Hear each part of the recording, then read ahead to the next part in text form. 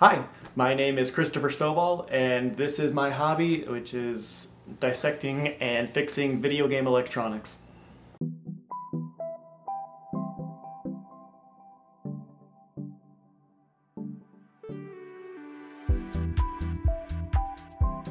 I'd always been a little tinkerer. I was that kid that always liked to take apart his toys and figure out how they worked, but um, it wasn't really until I actually got into the video games that really that kind of took off. And then once I did start looking at these is when I started being able to apply these skills to other things.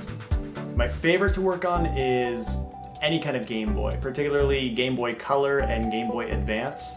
Those are the ones that are in the nice gray area of simple, so it's not too frustrating to work with, but also nice and compact and just they're a nice little package to work with.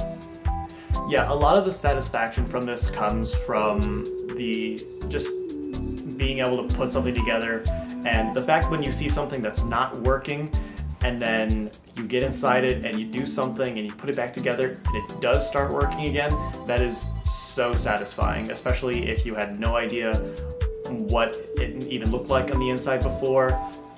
I probably have about a dozen Game Boys. Um, I don't even have all of them on me right now because um, a lot of them are just like my personal collection. Uh, the ones I have here are just the ones that are broken or need fixing. Uh, that's not that's just Game Boys itself. That's not including other handhelds and systems. Um, I I can take it in, I can clean it up. If there's some cosmetic thing I can do to make it look nicer, I can do that. And of course, there's actually repairing it. Um, if, it if a part needs to be swapped out, or 90% of the time, if something's broken, it just needs to be cleaned. So that usually helps fix a lot of things. But yeah, I can show you a lot of the ones I have right now. Um, this is a Game Boy Advance. This is the original style. With this is the SP, it's the flip style. We have the, the Game Boy Color. Uh, this was actually one of the systems that my, a friend gave me that was broken that initially got me into it. Here's a regular Game Boy Color. I have all the original colors uh, that it comes with. Here we have the original, the DMG. This is uh, the, the big gray brick. I've got a few DS Lites. One of the ones I'm most proud of is this guy. This is a completely modded Game Boy Advance that I have done. All I have taken is the original motherboard from it, and then every other part of it is brand new. I've replaced everything, and it is the ultimate package. It's got a brand new shell and buttons that are nice and squeaky clean. It's got a holographic tempered glass screen lens. Uh, it's got a audio filter with an audio amplifier and a new speaker. It's got a lithium ion battery with USB-C recharging. So you can just plug it in right there. And then the best part is the IPS screen, which uh, is a lot better than what it normally looks like because the original wasn't even backlit and you can even adjust the brightness of it itself. So whenever I go out, this is my go-to handheld system that I play with. While I've been doing this, I've learned I probably have more patience than most people do. Um, I was presented like with with this first Pokemon Game Boy that I got, I was presented with one problem, and every single time I fixed it, a second problem arose.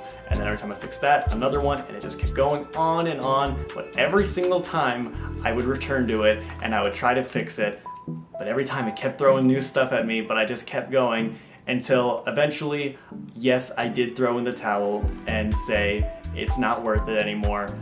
But the fact that I did put so much time, and this was over the course of a couple of years, I would just keep returning back to it and trying to fix something.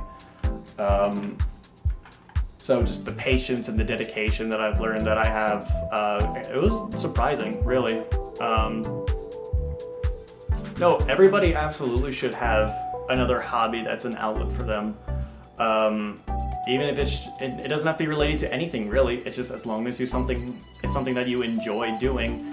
Because if I have a bad day, I know I can always come back and pick up some. I can pick up a screwdriver and open up the system, and it's gonna be there. And just no matter like what I'm going through right now or what's going on in my head, I know that this, the video game systems in front of me are a constant that I can always come back to and I can always get that satisfying feeling. Or if I just feel like looking at it because it's just, it's cool in there. There's some cool stuff in there, you know, just like looking in and seeing how everything works. Like every system is different, so it's always a chance to learn and grow from it. I really hate when I'm talking about a hobby or something that I like to do and somebody goes, "Oh, I could never do that. I could I would not be able to do that." I hate when I hear people say never. Everything takes effort and there's always going to be a struggle, but if you see someone drawing and like, "Oh man, I could never draw that." They've been drawing for years. Or if you look at the electronics, like, oh man, that's way too complicated. I could never do that. Yeah, it does look complicated, but it's always one step at a time. Stop telling yourself you can't do something unless you've actually tried and put in the effort. I get the shaky shakes. That doesn't stop me. I don't have very steady hands. I'm, I do not have surgeon hands, but look, oh man, oh, I can't, I can't get you accommodate. It might make it a little harder. You might not get it perfect, but you could still do it.